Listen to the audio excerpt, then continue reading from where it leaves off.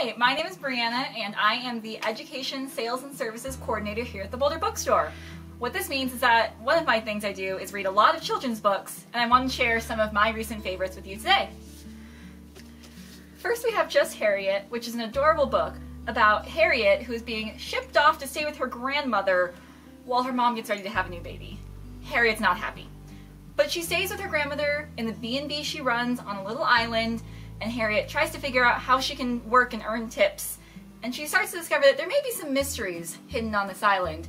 So she, along with her cat and her trusty little beagle, go and solve all these mysteries that are waiting for them on the B&B. And she has a lot more fun than she thinks she will. Another one I really loved recently was The Secret Explorers and the Moon Mission.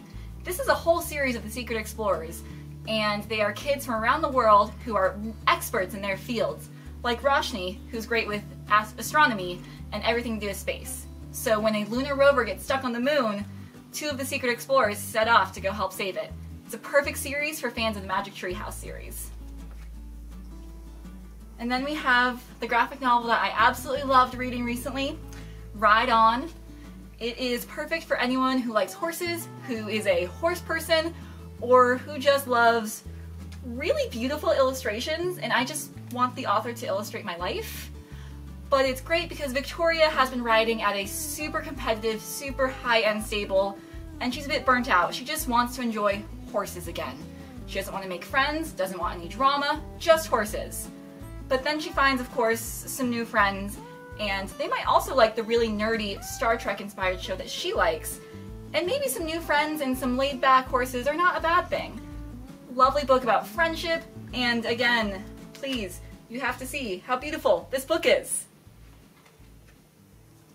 Another graphic novel, this one had me laughing so hard. Miss Quinces.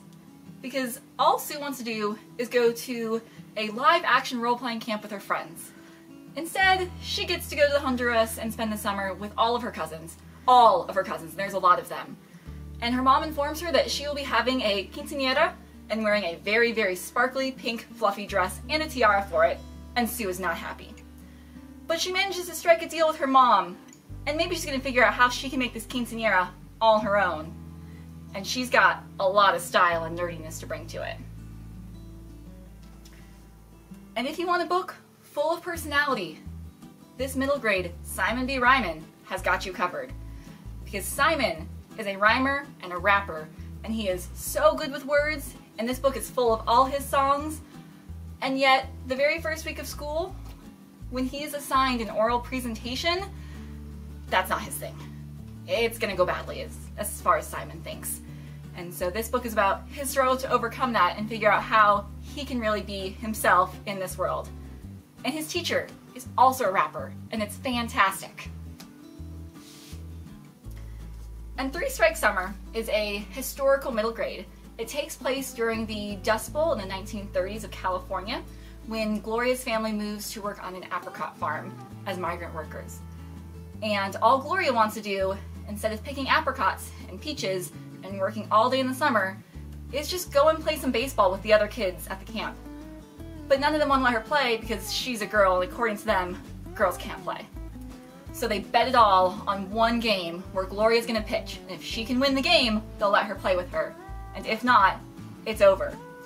So as she gets ready for this, and is practicing throwing all those apricots around, which is, which is not a good idea, she shouldn't be throwing the apricots, it also becomes about what it's like to live in a migrant camp and be one of the Dust Bowl workers, and how the conditions weren't quite fair back then. And it all comes together, and it all rests on this one final game. So I hope you check out some of those books and you enjoy them.